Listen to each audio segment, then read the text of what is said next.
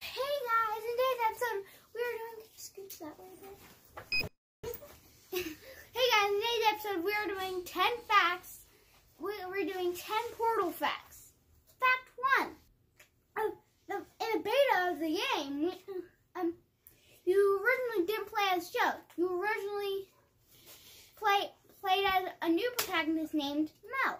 And you may have heard of her from, from the game Portal Stories Mel which is how the game, which, which, which, which is a published version of what of what the game was originally going to be. Yeah, and, and instead of, and instead of, um, and instead of Wheatley being the enemy and and the helper,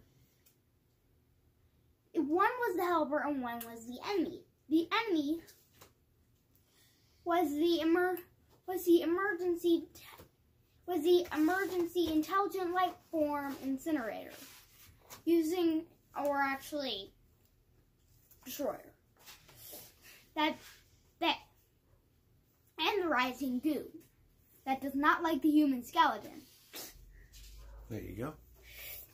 and it, and the original was was this core named Vector still a core like Wheatley is but it has a different name and yeah he's just different I feel like we're on like fact five now.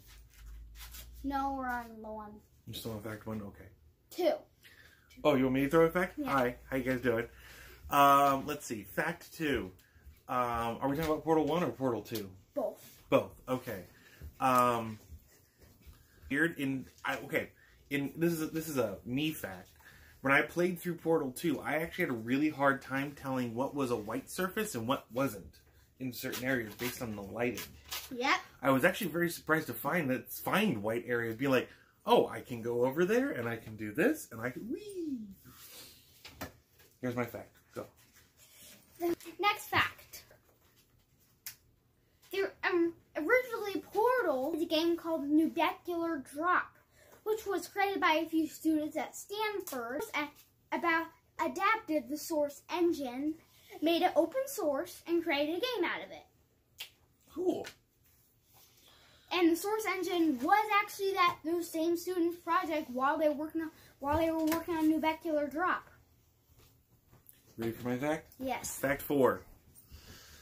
Cave Johnson is played by um, J.K. Simmons.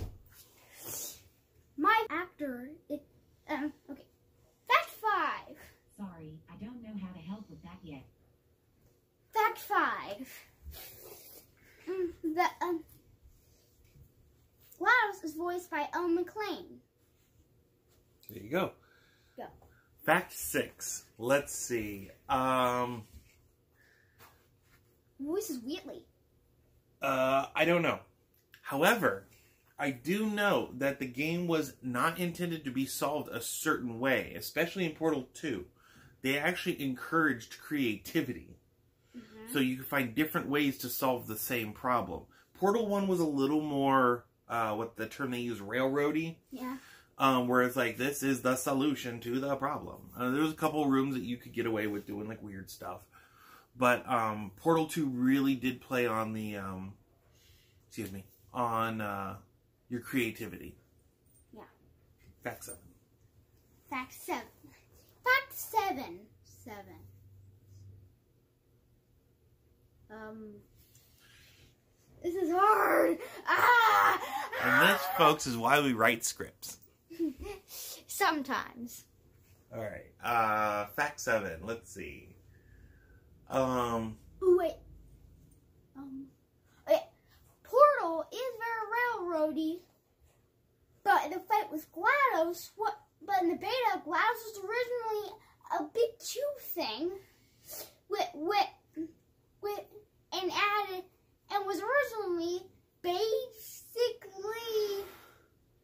basically a second version of Half Life, another version of Half Life Two using except using the source engine because because oh, all the textures were the same as Half-Life 2. In fact, GLaDOS was originally just a big cube made out of Half-Life 2 bombs.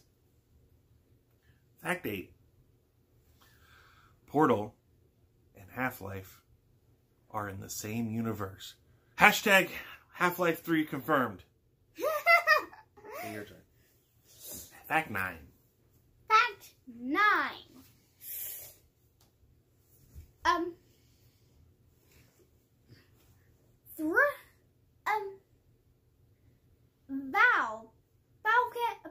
Can't count to three. Clearly. My turn? Yes. Fact 10. The final fact. The ultimate fact. We gotta think of a really good one. I got one. Uh. Port the ending, the information you get in Portal 2 about what happened to the world is essentially the storyline for Cloverfield. yeah. All right, guys. This has been Addison from the Wolves Den. Go check out my channel. Yeah, he's really struggling. he's really struggling, so go ahead and help him out. See you around. So, anyways, guys, thanks for watching. Goodbye. Sorry. Bye, guys.